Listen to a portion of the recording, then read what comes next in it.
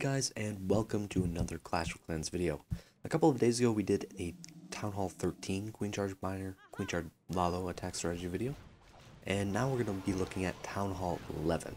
See how it sort of differs and how much stronger or less strong it is against the Town Hall 12 version. So we are looking at another war, the same war as the last video, YM Academy versus Recordo. So what we have here is the Queen Charge Lalo, of course.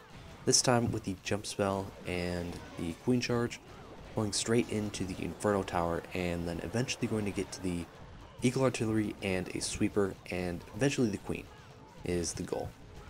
So it's going to be a pretty long Queen Charge, but as you can see from the timer at the bottom of the screen, it already been it's already been uh, there's only two minutes left in the raid, so it goes pretty quick.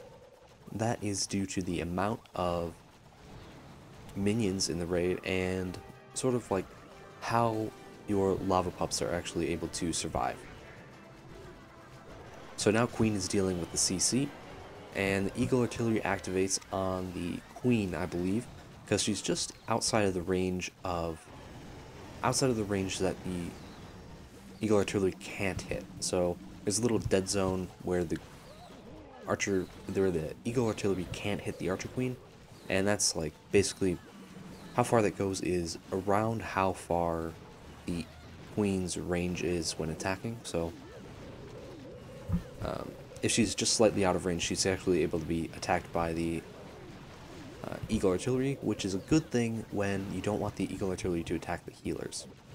So now the Lalo comes in, uh, the entire Lalo basically comes in from the top along with the Air Warden and the Stone Slammer. Stone Slammer is going to have loons in it, and that'll help out the loons quite a bit on the backside. So freeze spell over the air defense and the Inferno Tower. When you're building a base, you might want to keep those air defenses outside of range of freeze, along with key defenses like the Inferno Tower or Scatter Shot at Town 13, or Eagle Artillery also. So this Stone Slammer is also going to almost going to survive the entire raid by itself. So really GG and really crush that base. As we're going to see from a lot of these attacks. These YM guys are really experts in the field of Queen Charge Lalo. They've been doing it all the time. It's been a meta attack basically since sort of like years, really. It hasn't really been falling off at all it's it gets harder and easier by the day or by the patch, but it's always pretty good. So now we're up against this more compact base. And we have the X-Bow farm along with the Eagle Artillery uh, on the Eagle Artillery side. So actually we're going to try and avoid that a little bit by attacking from the left side of the base. So the Queen's going to come in from 8 o'clock. And she's going to go straight into this test farm Plus, this CC is a dragon and an ice golem, so it's pretty easy to deal with. The EQ goes down on the outside in order to get the queen into the from the in, outside of the base into the inside, and to be able to get into that Inferno Tower area. So this time he's not going for the Eagle Artillery. He's actually going for the Queen and the Inferno Tower. Along the way, there's going to be along the way there's going to be uh, no X-Bows, but two air defenses, I believe. Yeah, there's two air defenses. Oh no, there's two air defenses by the Eagle, and there's another one at 12 o'clock. And he's going to use the Stone Slammer at 9 o'clock in order to clear a couple of outside buildings and to make the way for the start of the Lalo. So since the air defenses are pretty well spread out, um, for the attacker, pretty good. Um, for the defender, not so much.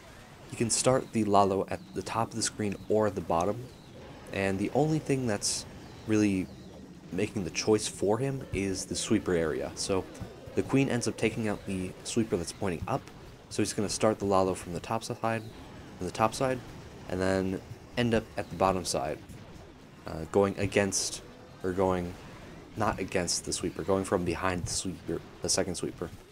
So he's going to take advantage of that and ends up on the Eagle Artillery and the air defense is popped by the Queen and the Hound. And Warden ability is basically swagged, and that is it for the base.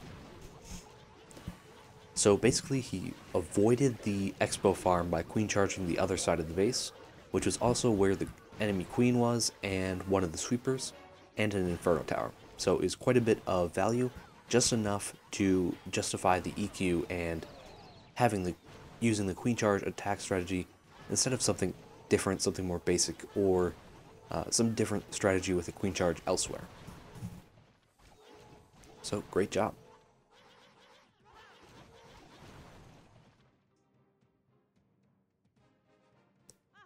Next up, we have Leroy. Or Lurpy. Sorry. And this one's going to be slightly different. So, we have the Queen Charge starting at 8 o'clock. And she's going to be walking for a long way on this base. You're going to notice that she's going to walk into this area with all the walls, sort of in a weird pattern and not really making any compartments, but he still has wall breakers. So what he's going to do is uh, also he chose this area because that's where the Tesla farm is. So the queen is taking care of the Tesla farm as well as getting into the base via this uh, weird compartment setup with the walls, or non-compartment setup with the walls. So queen takes queen takes care of the Tesla farm. King helps out a bit with funneling and taking the queen, helping the queen out with the defenses. So eventually she makes this the way into the cannon area. And so he's not going to open up that air defense compartment or anything. He's actually going to wait until the queen is all the way inside the base. And he's going to break open the compartment where the eagle is with these wall breakers. That is after taking out a bunch of the other structures around there. So the wall breakers can actually target that compartment. So Queen is making her way through the X-Bow farm. And as you notice on the opposite side of the base, there's not really much left. Just a couple of air defenses and two Inferno Towers. He targets the first Inferno Tower with the Stone Slammer, which is always a great idea if you can do that. And if the, uh, if the sweeper's not quite in the way, not quite close enough, to make a difference for the for whether the Stone Slammer can actually get any attacks off.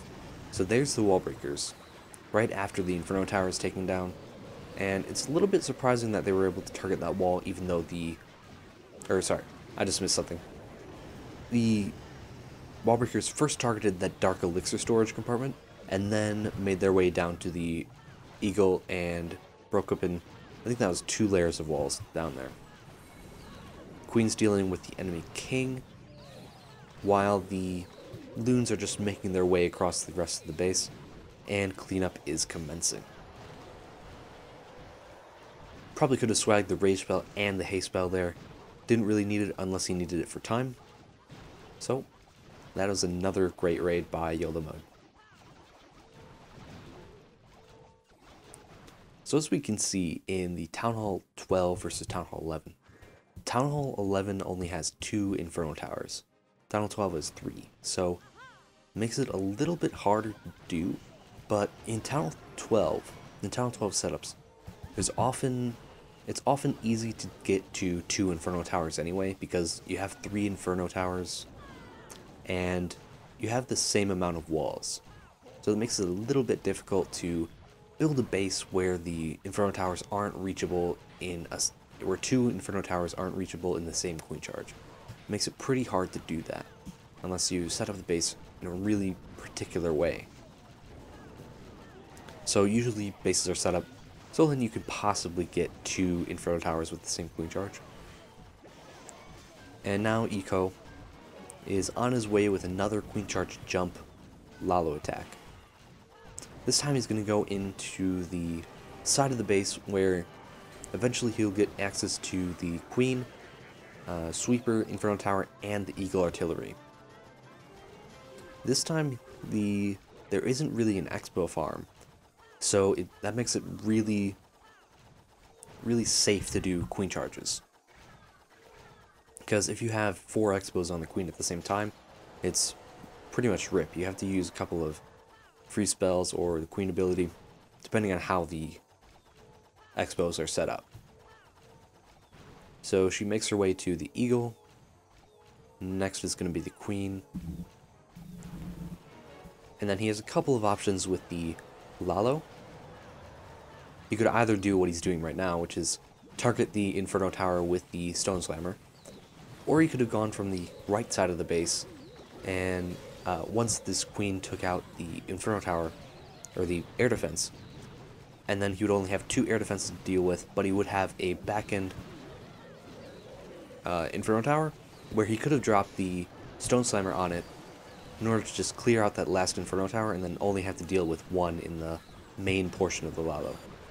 But he chose to go from 12 o'clock, and he's also bringing a couple of side loons, um, so he's not dropping every single loon in the initial push, as um, early Lalo players might try to do.